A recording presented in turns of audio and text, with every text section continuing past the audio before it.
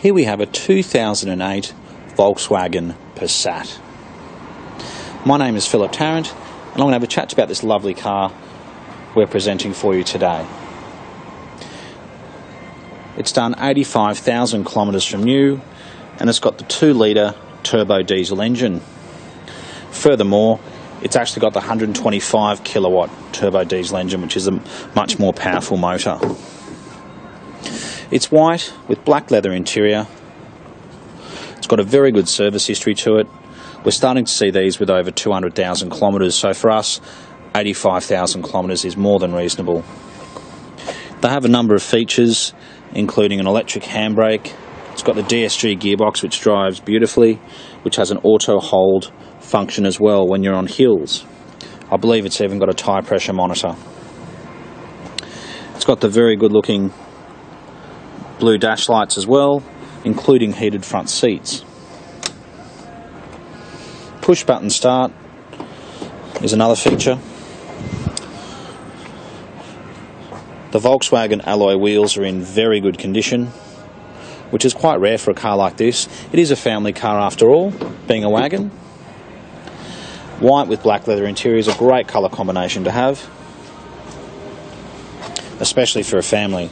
It generally doesn't show the little marks on the outside being white or on the inside being black.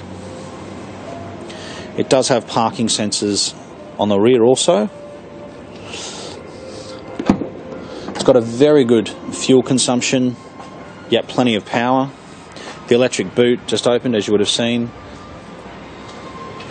I think these might have a full size spare. Yes, it does have a full size spare, very similar to the to the wheels on the R36. The parcel tray is there. It looks like it's got a net too, which is fantastic. Usually these things seem to get lost over the years. They get taken out and put in the garage when the seats are folded down and never put back in.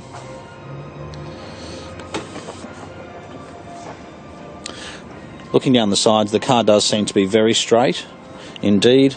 Even the tyres look pretty good from what I can see.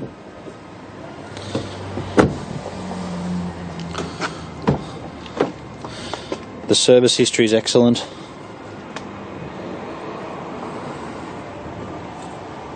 I'll have a quick look at the logbook.